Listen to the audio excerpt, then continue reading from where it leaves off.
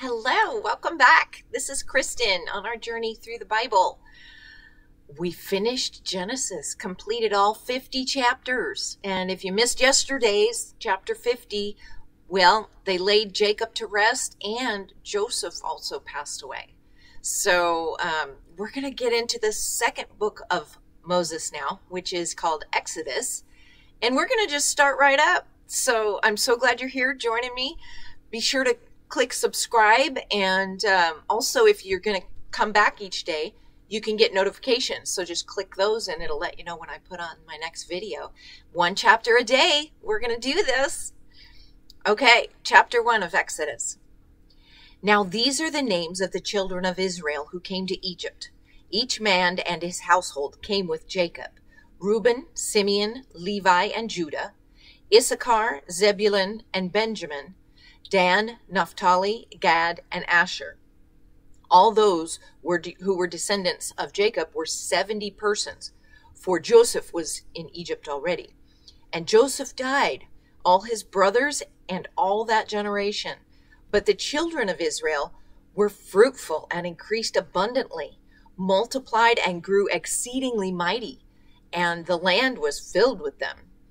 Now there arose a new king over Egypt who did not know Joseph. And he said to the people, Look, the people of the children of Israel are more mighty than we. Come, let us deal shrewdly with them, lest they multiply and it happen in the event of war that they also join our enemies and fight against us, and so go up out of the land. Therefore, they set taskmasters over them to afflict them with their burdens. And they built for Pharaoh supply cities Pithom, and Ramses. But the more they afflicted them, the more they multiplied and grew. And they were in dread of the children of Israel.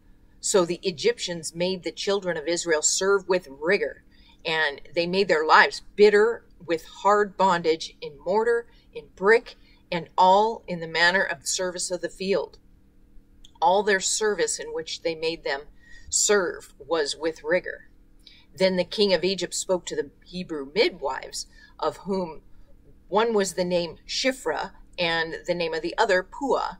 And he said, When you do the duties of a midwife for the Hebrew women and see them on the birth stools, if it is a son, then you shall kill him. But if it is a daughter, then she shall live. But the midwives feared God and did not do so as the king of Egypt commanded them but saved the male children alive. So the king of Egypt called for the midwives, and he said to them, Why have you done this thing and saved the male children alive?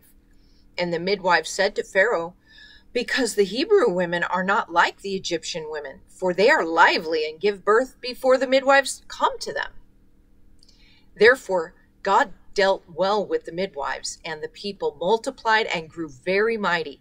And so it was because the midwives feared God that he provided households for them. So Pharaoh commanded all his people, saying, Every son who is born you shall cast into the river, and every daughter you shall save alive. And so the slavery of the Israelis begins. Woof. Oh, tomorrow, chapter 2 is the birth of Moses. So thanks for coming today, and I hope to see you back here tomorrow. Be sure to leave me comments when God puts something on your heart about the scriptures we're gone through, and when you dive deeper into it, give us comments and let us know what you saw and what you learned from the chapters as we go through them. One chapter a day. We're going to make it all the way through Revelation. So come back again tomorrow. Thanks again. God bless.